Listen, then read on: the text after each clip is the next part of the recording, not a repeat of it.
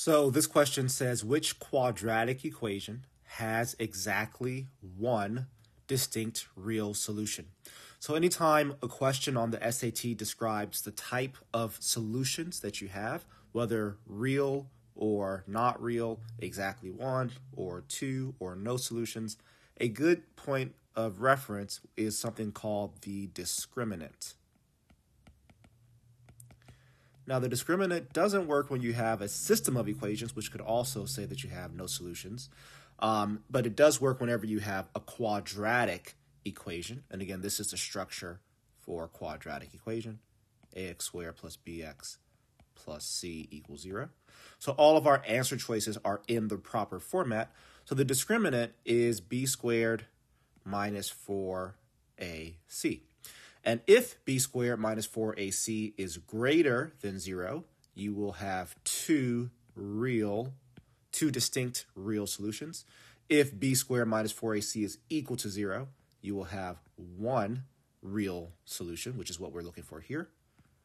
And if it is less than 0, you will have no real solutions, which basically means you'll have two imaginary. Okay, so here's where we want to be.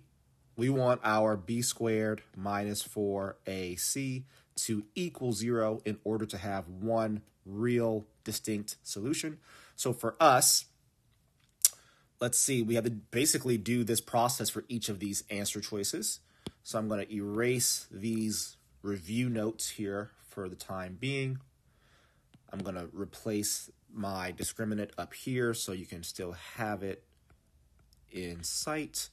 And then for choice A, we know that A equals 1, B equals 4, and C equals 16. So B squared would be 16 minus 4AC would be 4 times 1 times 16. And we want that to equal 0, which is going to not be the case. Of course, if we have 16 here, I need this to also equal 16. So we'd have 16 minus 16 equals 0. So if you did the math there fully, you will see that that's not equal to 0. So choice A is gone.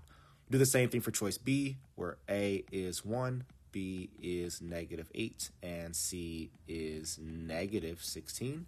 So therefore, B squared would be 64 minus 4 times A times negative 16. This is actually going to work because negative 4 times 1 is negative 4.